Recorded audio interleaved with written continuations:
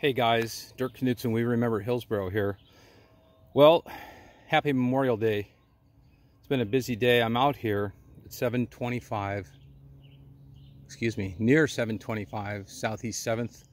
And I'm at the home of June Nevling, June Wells Nevling. And we've talked about her before. She is one of the Wells uh, family of Hillsboro.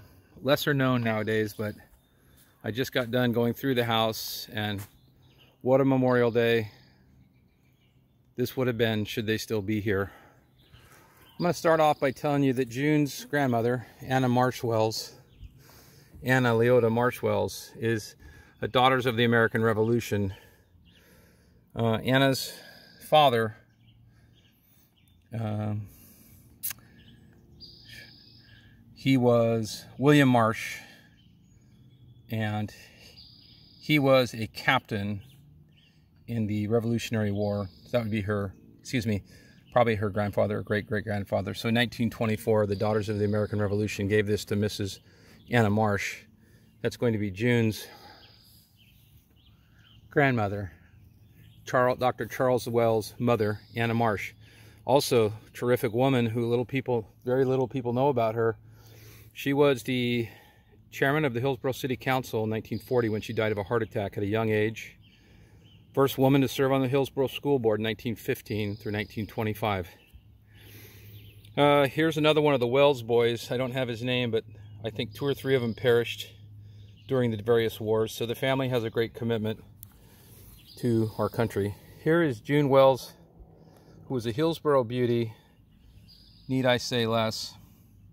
There's June when she got married in 1949.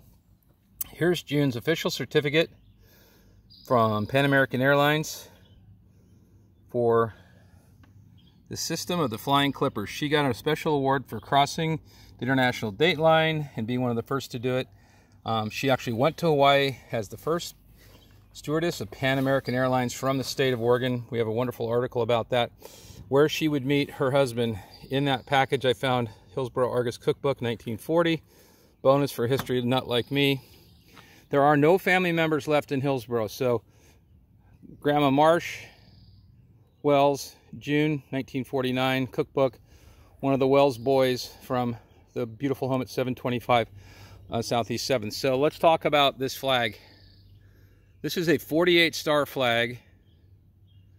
This is the one of the early uniform jackets of Lieutenant Colonel Gilbert Nevling now, Mrs. Wells, Mrs. Young, beautiful Wells, met Colonel Nevling by all reports in Hawaii on that first flight in a bar in Waikiki, and they were not allowed to, to uh, talk in a bar. It was against policy.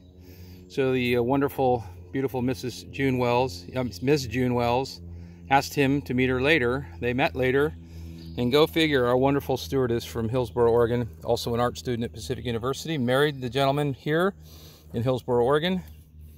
There they are in the backyard at the wedding that was attended by almost everybody in Hillsboro. And here's the happy group. Several of these young men served in our military. On the far right is Gilbert and June. Um, her mother Lola, or excuse me, Geneva, aka Pinky Wells, and Dr. Wells on the far right, her father and mother. Here is Lieutenant Colonel Wells in 1949 with a sword given to him by members of the Japanese government after it was reorganized. And uh, a 600-year-old sword cut their wedding cake. Now, I want to remember Gilbert. He's from Pennsylvania, but he married this wonderful young woman from Hillsboro. Gilbert served in World War I. He was born in 1902, 1901, served in World War I, stayed in the service, went on to serve in World War II as a pilot, and in the Korean War as well. So what a commitment. Here's one of several racks of medals Gilbert Nevling racked up.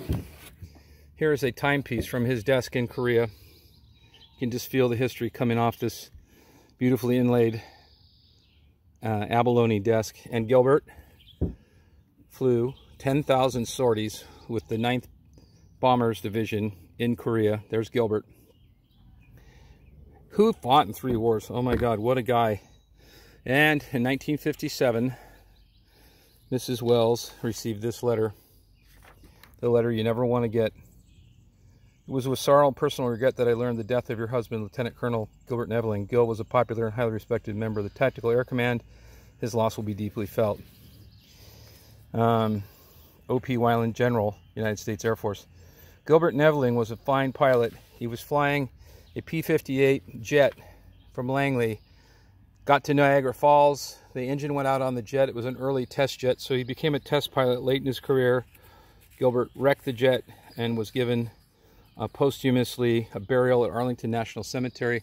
Thus, this 48 star flag is here in this estate, and I am left as the representative of the estate with no people in Hillsboro left, and I cannot find family to decide what to do with all this. So I want to give credit to the Wells family from the Revolution to World War I and on, and to Gilbert Nevling, an American hero for three wars and here are a number of letters from various generals thanking her, uh, his death certificate, and uh, two Western Union telegraphs, Tactical Air Command, and finally his personal effects list. So, live from Jackson Bottom, happy Memorial Day, everyone. This one hit home. It just happened to be something that crossed my path and I felt like it was worth sharing. I salute everyone that served in past and everyone who now serves. May we be thankful forever for your work. God bless you all.